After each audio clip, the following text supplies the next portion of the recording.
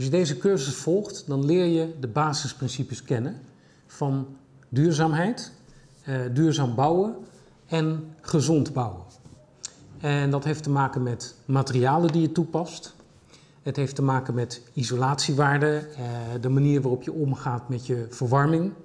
Maar het heeft ook te maken met beperking van straling en elektrische stromen in huis.